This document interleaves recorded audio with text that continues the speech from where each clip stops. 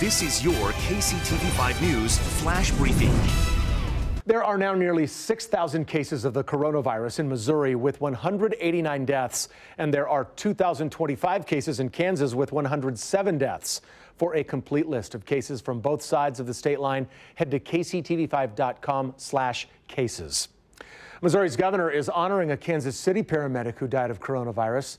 The governor has ordered flags at government buildings in the metro and at firehouses across the state flown at half staff tomorrow.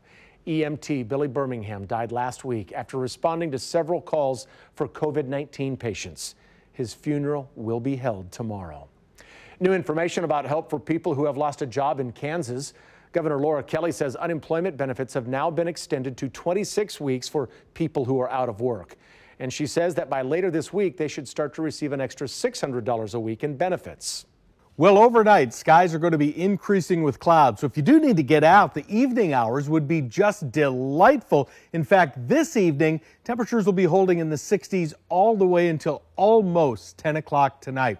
After that, skies will begin to increase with clouds. Still going to be a nice dry day, at least initially on Wednesday. So if you do need to get out of the house, let the dog get out and take care of some business as well. You might want to think about getting that done in the morning because it looks like it may turn out to be a rather rainy day. Let's check it out.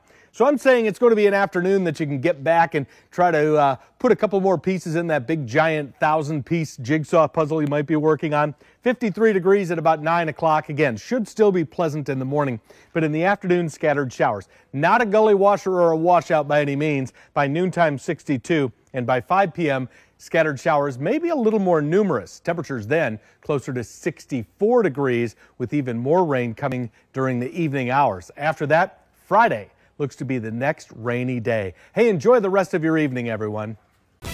Turn to KCTV5 News for the latest updates. This is your personalized flash briefing because KCTV5 News stands for you.